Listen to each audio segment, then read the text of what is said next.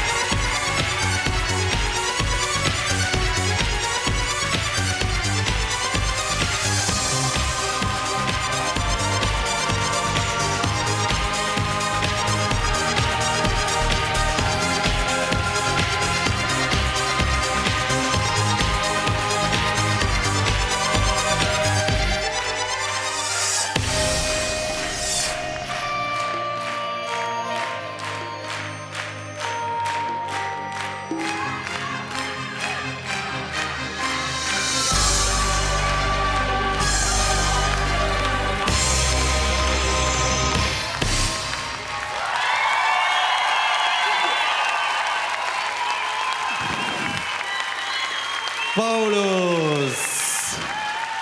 Na kągi, aš manau, kad tau trūko tik tai tokio nekeliuoto strypo. Jeigu tave būtų puolę kaip matricų ir tu būtum išdaužęs visus šitos klonuotus misterius smedus, būtų visai spūdinga, ar ne, teisėjai? Paulius. Pauliau. Šiaip labai gaila, kad dingo tavo kolegės, visos e, tu nenori dalinti su jomis pinigais. Aišku, kad ne. Supratau. A, ir aš nežinau, aš manau, kad e, visiškai nesvarbu, tiesą sakant, kuri tavo pagrindinė yra motivacija, šlovė, pinigai ar, ar moterų dėmesys. Bet žinai, kas yra, e, kad niekada nepaslėpsi to žmogaus, kuris tikrai siekia savo užsibriežto tikslo. Tokie žmonės matosi visą laiką. Tokie žmonės visą laiką aukštesni galvo už kitus. Tokie žmonės visą laiką krenta į akis. Ir tu esi vienas iš tų. Tu esi vienas, vienas įdomiausių žmonių Lietuvoje. Šaunuolis. Laikykis, pranai. Man lieka tik pritart Marijui. Jeigu viską taip darysi, pinigų prisivarysi.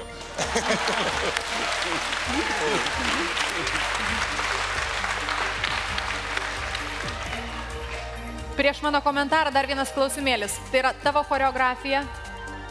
Šimtų procentų.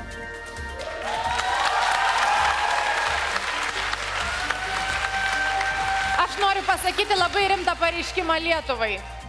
Uh, tu nepamirškit, brangų žiūrovai, visa Lietuva, nepamirškit, šitas žmogus pradėjo šokti tik prieš dviejus metus. Ir jūs mato tokį rezultatą. Mano dideliu įsitikinimu, tu esi vertas laimėti šitą konkursą. O jeigu taip neatsitiktų, jeigu įvyktų tokia klaida, kad tu nelaimėsi, tai aš tau sakau, prisikaupk drąsos, nuvažiuok pas Alą Duchovą, pasibelsk ir parodyk šitą įrašą.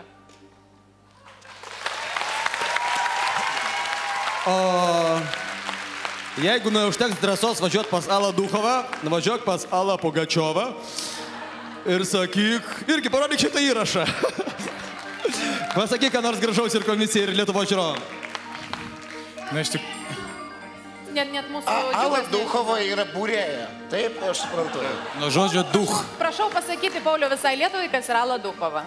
Ala Duchova yra šokio studijos Todės galva. Iš, yra Labai žymi. pra, pradininkė 30 studijų per visą Europą, pasaulį. Ir pats aš esu Lietuvos kaip ir atstovas šiuo atveju. Tai tiesiog taip aš susijęs su Ala Duchova. Bet Ala Pugačiova vis tiek populiaresnė. Gerai. A, Gal nori dar ką nors pasakyti šiaip Lietuvai? Ačiū! Paulius, jo numeris trumpasis yra 05. Balsuokite už jį numeriu 1378. Paulius, ačiū tau. Ačiū Pauliu.